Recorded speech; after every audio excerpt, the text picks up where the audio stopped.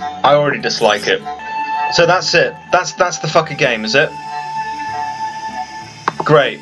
I'm just, this, this this is not a very entertaining for a stream, is it? Combine. Oh look, we got a new fucking YouTuber. So if Keemstar put Ricky fucking Berwick in this, and not me, all right. When revenue is a must, relying on actual human beings to watch your videos isn't enough. When you're offline, your automated robots will generate. I'm very impressed by the spelling here. Wait, no, I don't want to watch a fucking another one.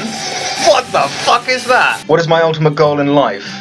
Probably to be in this game, if I'm in it, because it's so great. Jesus fucking Christ!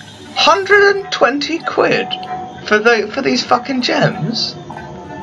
Is he mental? You beat this game in about 30 minutes with an exploit. What's the exploit? Let's fucking do that. Oh, that's as far as you can set it.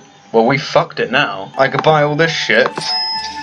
Yeah, Keemstar might want to fucking fix this exploit. Oh, it's just madness now. It's just fucking madness. He puts all everyone else from Baited in it. Not me. What a dick. Clown, you're too irrelevant. You're too irrelevant for this game. You got fucking Ricky Berwick here, Keemstar. You got a fucking jelly here. You can put a jelly in and not me?